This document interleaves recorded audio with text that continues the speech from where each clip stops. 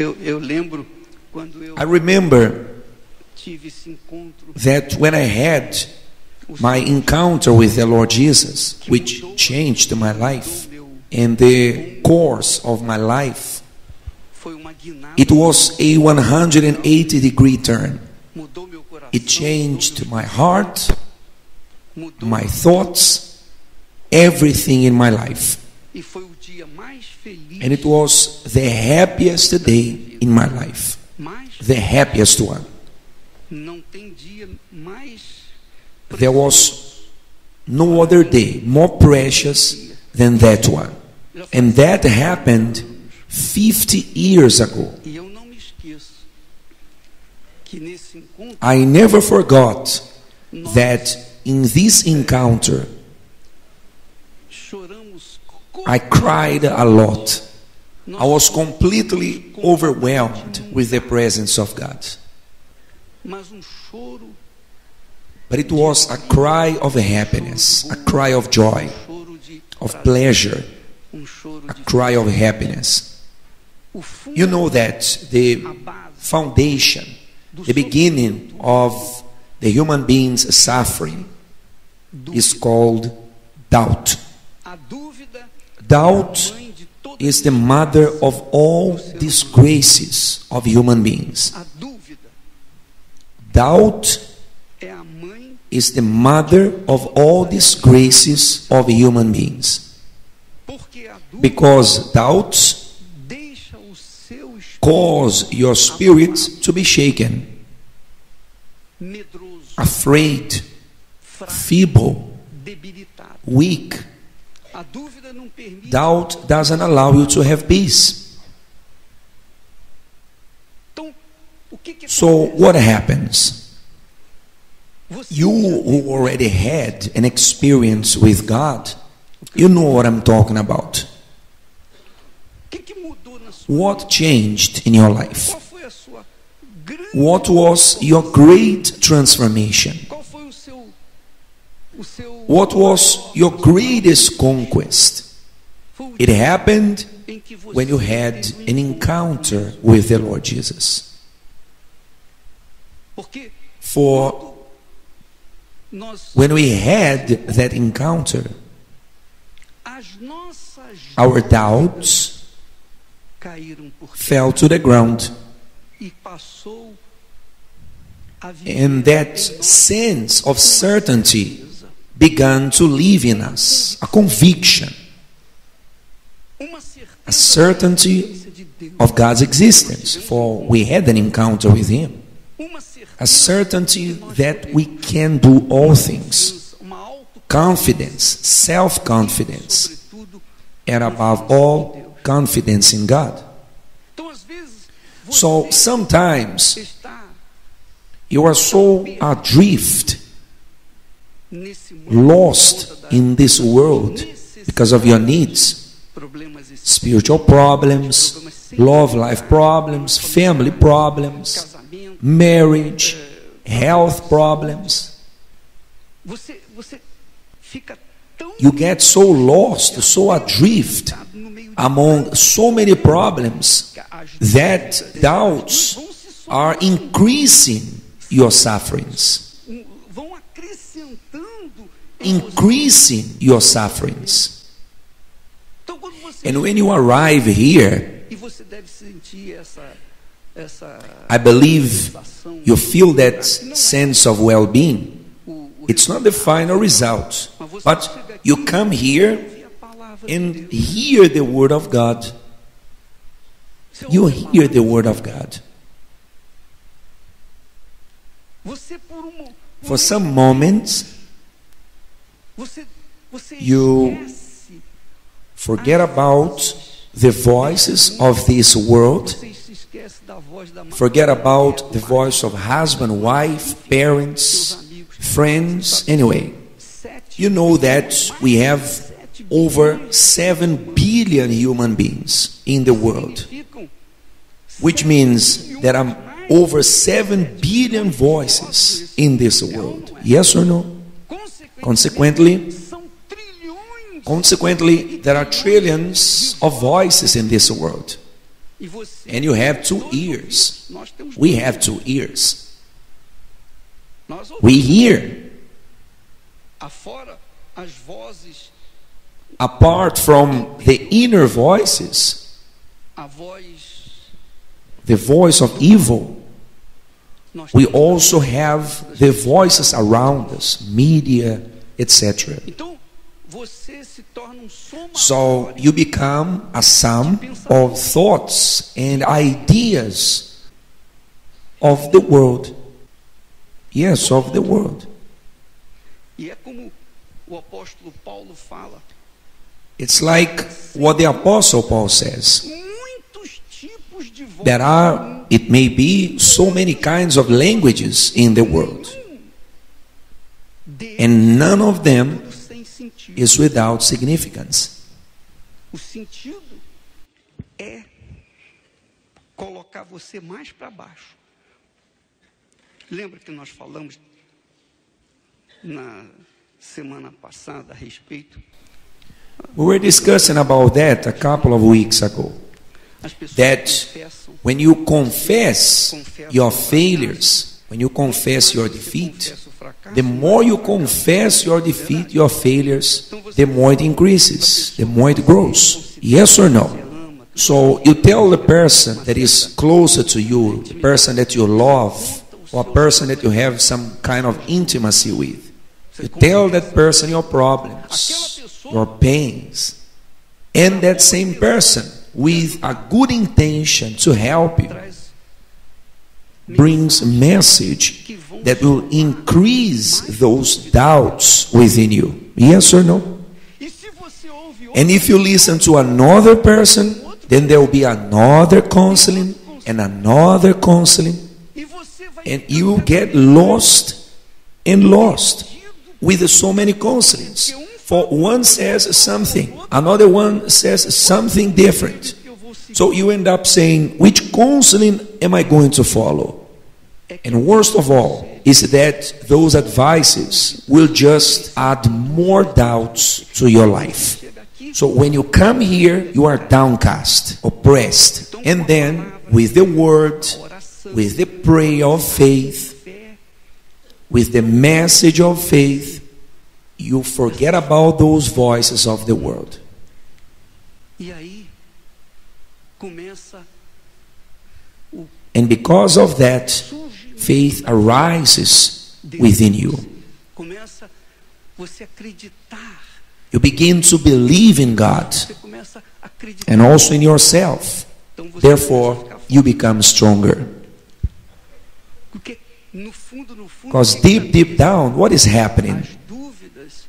Those doubts are being removed, taken away, and your level of faith is going up. And it makes you feel well. It's a great sense of well being. But it doesn't solve the problem completely. Why? Because what is the point of feeling very well inside the church and when you go out there, you go back to the same old thoughts? Yes or no? Here in church, só ouve uma you just hear one voice my voice. My voice. Mas quando você sai, But when you are out there, é o pai, there's the voice of the father, the mother, the child, boyfriend, girlfriend, husband, wife, etc. Each person brings a different kind of thought. You know very well. We all have different minds. Yes or no? We all have different minds. Each one of us have a different kind of thought. So now try to figure out all these thoughts coming in at once. What happens to you? That's why it's very important to seek this encounter with the Lord Jesus. There are a bunch of people well informed about Jesus. There are a bunch of people who are full of knowledge, biblical knowledge, autor da vida. but they don't know the author of life yet. They haven't had the encounter with God yet. They don't know Jesus. I mean, personally. I don't know if you can say that, but the Apostle Paul said, I know whom I have believed. I know whom I have believed. I can say that. I know whom I have believed. Because it has been 50 years that I've been in faith continually, permanently.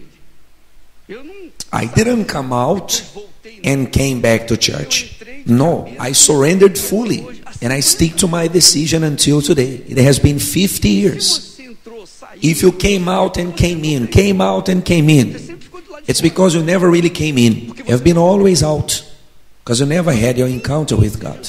You have got to know Jesus. Doesn't he exist? Don't you believe he exists? Think with me. Do you believe he exists? Yes or no? So if he exists, you have to know him or not. But Bishop, are you not demanding so much from me? No, I'm just trying to open your understanding, your conscience. God is an intelligent being. And He doesn't accept praises and worships from emotional people. Praises out of emotions. No. He wants praises, adorations from intelligent people, people who reason. Yes, I know whom I have believed. Oh Lord, I believe in you. I love you because I know who you are. I know the one who has been doing great things in my life. So you have got to know him. And in order to know him, you have to be thirsty for him. You have to desire him. And who's going to show Jesus to you? Who's going to introduce Jesus to you or reveal the Lord Jesus to you? Holy Spirit. Holy Spirit is the person who reveals Jesus to us. For Holy Spirit reveals within you the Lord Jesus. And that's the great difference between the religious people and us. The religious ones accept things without thinking, questioning. They accept things anyhow. You can't be religious. The religious ones use their emotional faith and are led by their emotions. But a person who is truly Christian, or a person that hasn't become a Christian yet, but he says, No, I want to see Jesus. I want to know him. I want to know him. One day, the Greek people went to Jesus' disciples and said, We want to see Jesus. And then the disciples were saying, Oh, they want to see Jesus.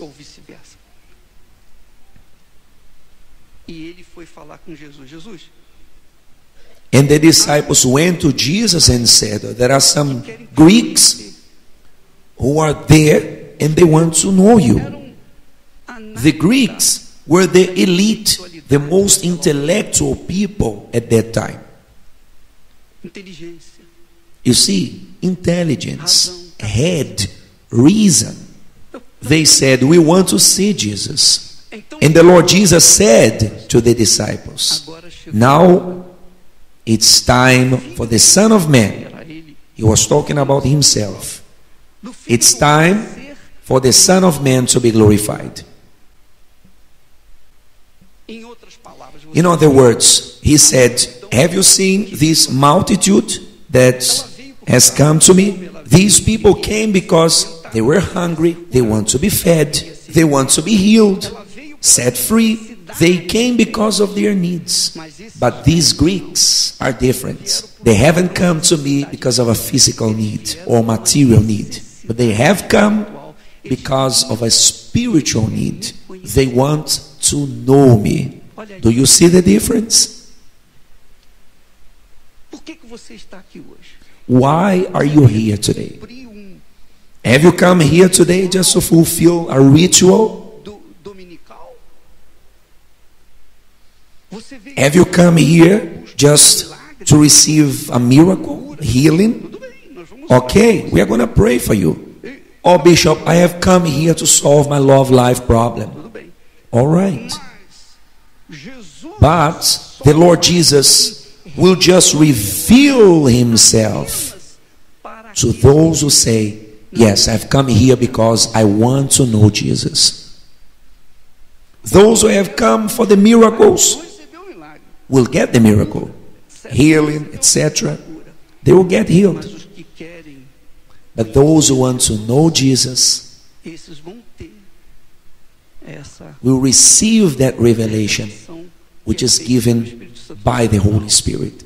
It's not by me. It's not by me. It's God's Spirit who has to manifest in you and speak within you and reveal to you the Lord Jesus. You won't see him with your physical eyes, but rather with the spiritual ones. For Holy Spirit gives us spiritual eyes in order for us to see what is unseen, for you to believe in what is impossible.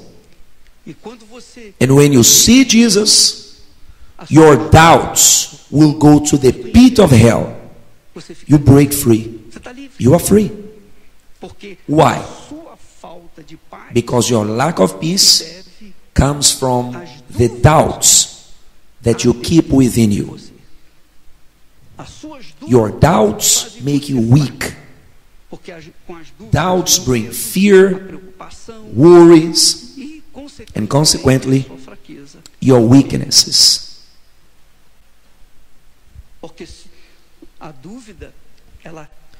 Doubts simply neutralize your peace. There's no peace while there's doubt. But if you have faith, then doubts are eliminated and you have peace. You have got to know Jesus. You have got to know Him. Because if you don't know Him, you might spend your whole life in church, but your presence here will be worthless. It will not solve anything whatsoever. Use your mind, use your intelligence, your reason, for you to achieve what the Lord Jesus wants to give you.